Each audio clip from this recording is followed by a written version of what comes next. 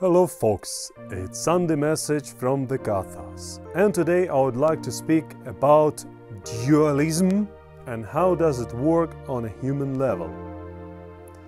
First of all, I would like to say that in majority cases dualism is being wrongly represented and it is understood as a equality between good and evil which does not work with us Cathars, because we deeply believe that two natures of good and evil have not to be mixed. Yes, after our fall, after our embodiment, incarnation into this material world, we got mixture of those two natures good and evil.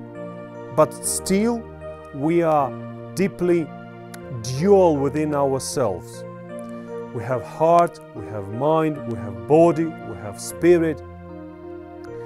And uh, basically, the concept of dualism is that we have to recognize and define and differ or better to say, to split good side and bad side.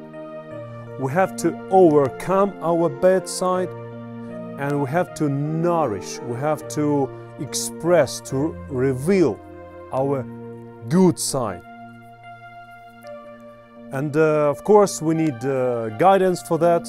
We need some measurements what is good and what is bad we have to have uh, it is manifested on a personal level, on a human level, uh, within some saints or holy people.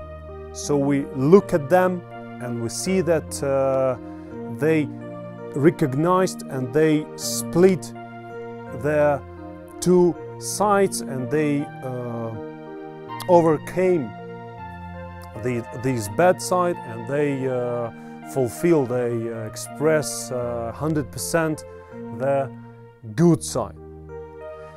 Yes, it is always difficult to speak about uh, dualism and uh, especially if uh, since we are being modeled, uh, formed in a culture of monotheistic religious and concepts, dualism still is remained in our deep, deep nature and uh, coming back to dualistic approach to ourselves, to divinity and to the very universe will uh, help us a lot and it is much, much more progressive than monotheistic uh, approach and it explains things better and uh, uh, we share would like to share this concept with you to think about it and maybe